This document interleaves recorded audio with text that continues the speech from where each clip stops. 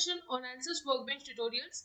In this session, we are going to analyze the piston head for its structural and thermal analysis combined together. We will start by double clicking on structural analysis.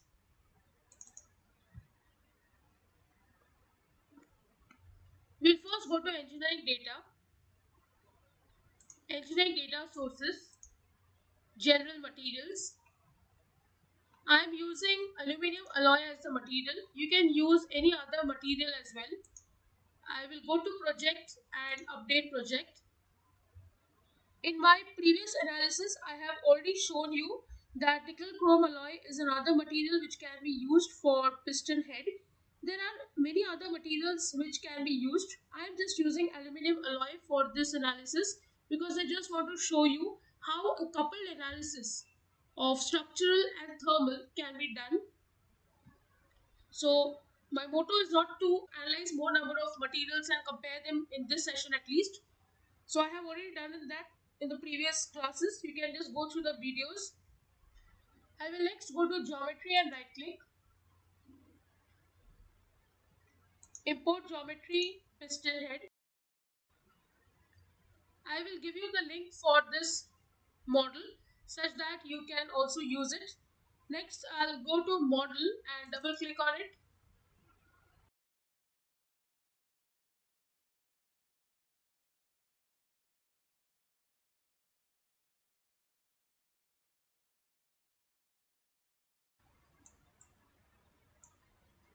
I'll first go to geometry and change the assignment of material to aluminium alloy.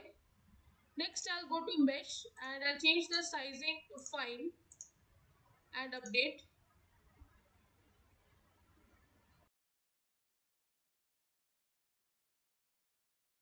I'll first go to static structural and insert fixed support. On these two faces, apply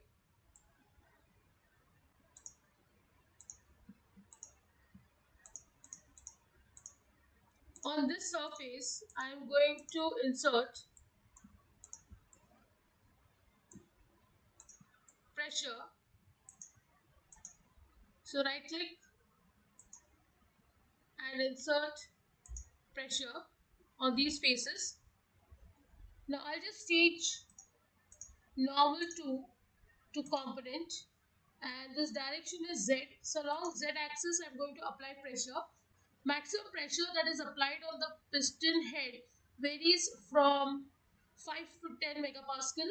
So I'll just give a value of say 10 megapascal. Now since it is in the downward direction I'll add a minus sign to it. Next I'll go to solution and I will insert deformation total. I also want to see the deformation directional along z axis I will insert strain equivalent stress and in tools I am going to insert stress tool. Since I am using aluminium alloy, I can also see the fatigue which is present in this material. So I'll just click on fatigue tool such that I can know what is the life of this piston head.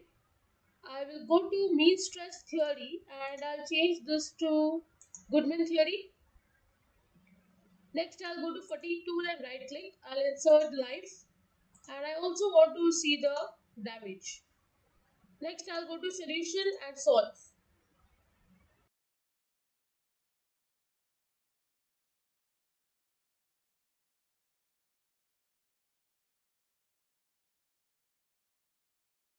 The first result is of total deformation.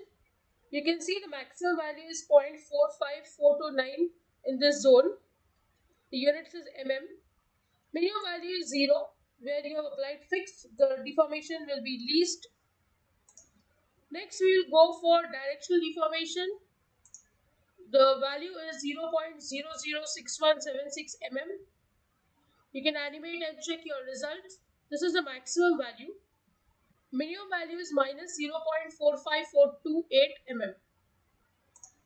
If you want to see the results, just click on max min. You will figure out where the value is maximum and where it is minimum. Again click on both of them so the options can disappear. Next we'll see the equivalent strain. The value is 0.00789. It is a very small value. Though this is the maximum one, the minimum value is 2.0827 in 10 raised to minus 6, which means it is extremely small. You can animate and check the result. Next, we'll go to equivalent stress. The maximum stress generated is 559.89 megapascal over the body. Minimum value is 0.10782 megapascal. You can see where the value is more and where it is less by the color of it. Next, I'll go to stress tool and check the safety factor. You can just click here and click on the plus signs is that the values just open up for your comparison. So you can see the maximum value is 15 here.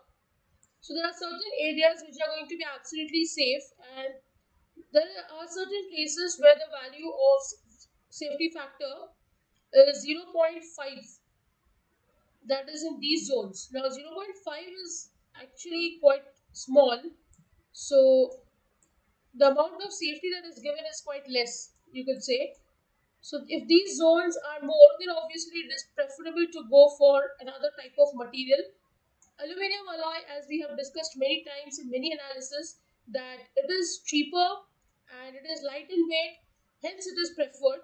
But it is not a hard and fast rule that you have to use it. If you want to invest a little more in it, and if you want to increase the safety factor, if you want to increase the life, you should definitely go for a better material. Okay, so if you see here, the life is 1 into 10 raised to 8. That is the highest value, but in certain zones it is 0 also, which means it is not that safe to use under this pressure. So you can see that in certain places the damage value is quite minimum but in certain cases your damage value is quite high. So you need to be careful about those areas. So that's how you analyze for structural analysis using aluminum alloy as the material. Now once this is done and I want to couple it with thermal analysis, I will go to steady state thermal and I will drag and drop it over the entire body up to model. Next I'll go to setup and double click on it. You can see here these are the results from structure analysis and now we are shifting slowly to thermal analysis. So this is the initial temperature of the body. So we will give convection over the top zone first.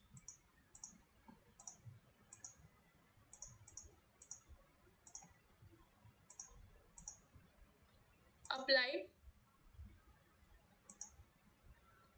Here I'll give the film coefficient as 500 E minus 6 watt per m square degree Celsius and the temperature here is say 250 degrees Celsius.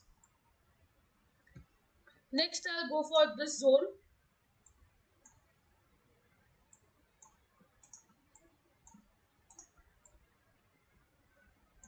Right click, insert convection. I'll give film coefficient as 700 E minus 6 and the temperature is 150. Next, I'll select these areas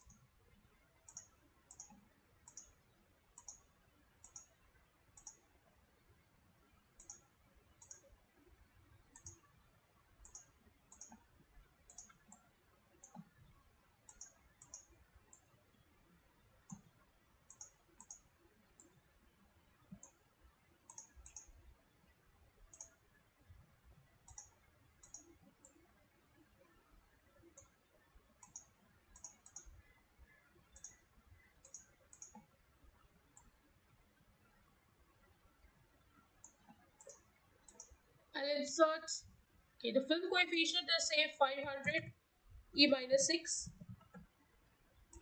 and the temperature here is 90 and what remains is this zone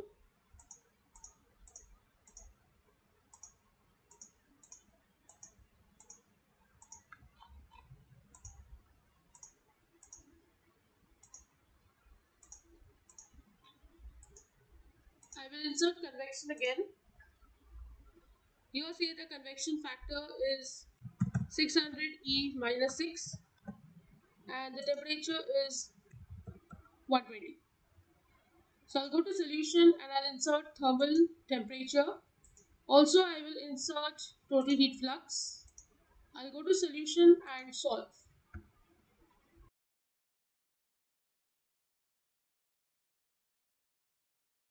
So let's see the temperature distribution over the body.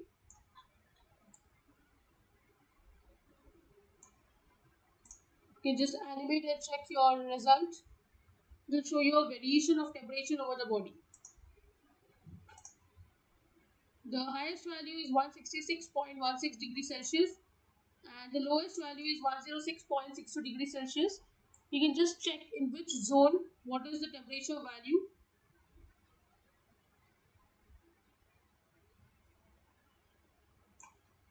you can see the total heat flux over the body now.